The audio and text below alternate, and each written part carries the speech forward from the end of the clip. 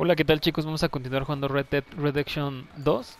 El día de hoy les traigo lo que es la continuación del easter que subí el día de ayer o antier, no me acuerdo bien. El de la secta y los ovnis. Ya ven que vimos una hoja que decía que eh, todos ascendieron a las 2 horas de la medianoche o algo así. Ahorita, obviamente, como pueden ver, es de noche. Y falta poco para que sean las 12 que diga a las 2 de la mañana, ¿no? Vamos a la ubicación. Este, pasa algo muy curioso cuando vamos. Ustedes ahorita mismo lo van a ver y la verdad a mí me, sorprendió bastante. Eh, creo que sí era una secta que estaba en contacto con seres del otro mundo. Porque bueno, vamos llegando a la ubicación. Ya estamos aquí, ¿no? Vamos a sacar lo que es la lámpara.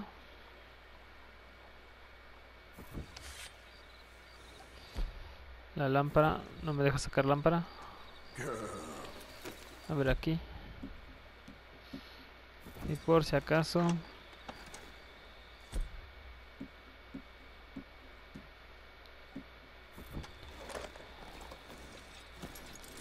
Venga, vamos con la lámpara.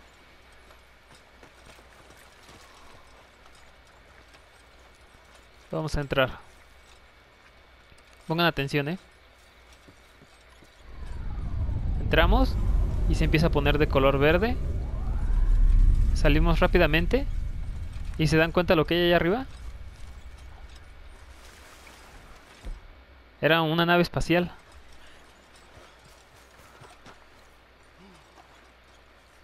Qué curioso. Y ya cuando volvemos a entrar ya no hay nada. Es un poco extraño. Pero bueno. Aquí es donde encontramos lo que es la nota. ahorita no vamos a ver nada por lo mismo de que es de noche. Inspeccionar. Esta nota en especial es la que les decía. Vamos a leerla en español. A la segunda hora bajó de la media. Por la gran amor. Qué curioso, yo pensé que era más o menos una secta así tipo satánica.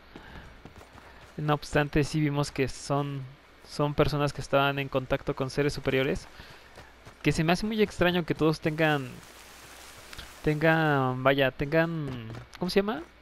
Disparos en la cabeza. Si se supone que un ser superior se los llevó, o sea, un extraterrestre. Estuve investigando un poquito más por aquí y no hay absolutamente nada fuera de lo que ya encontramos en el anterior vídeo. Podemos seguir buscando, pero no, no hay nada. Aquí está lo del licor que encontramos.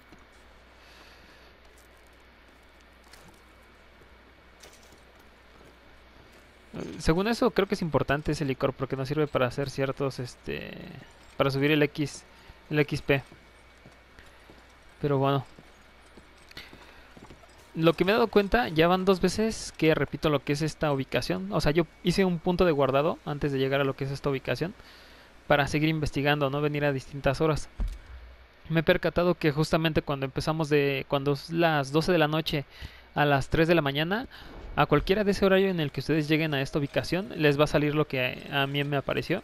Justamente al entrar, no importa que saquen la lámpara o no, se va a empezar a poner verde todo y se va a ver la nave extraterrestre ahí que se los lleva. Es algo muy muy muy curioso, la verdad no, no me lo esperaba, sí me sorprendió bastante. Y pues nada chicos, espero les haya gustado el vídeo. Ah, no obstante les dejo nuevamente lo que es la ubicación para aquellos que no sepan bien dónde es. Acuérdense de Valiente. Sacamos, bueno, nos vamos por lo que son las vías del tren. Todas estas vías del tren. O para mayor referencia, aquí nos va a salir una, una tienda del señor que nos compra los, los carruajes. Yo creo que ya algunos lo sabrán y quienes no lo descubrirán más adelante. Hay un señor aquí que nos compra lo que son los carruajes, ¿no? Pues es justamente en este en esta locación. Vengan justamente lo que es de la 1 a las 3 de la mañana para que pues ustedes mismos lo comprueben y pues nada chicos, voy a seguir investigando, encontrando un poquito más de información, a ver si pues hay más puntos así en el, en el mapa, ¿no? La verdad, este... No, me encantó, o sea, yo no me esperaba que, que fuera a pasar eso. Pero bueno, suerte chicos, les espero les haya gustado el video.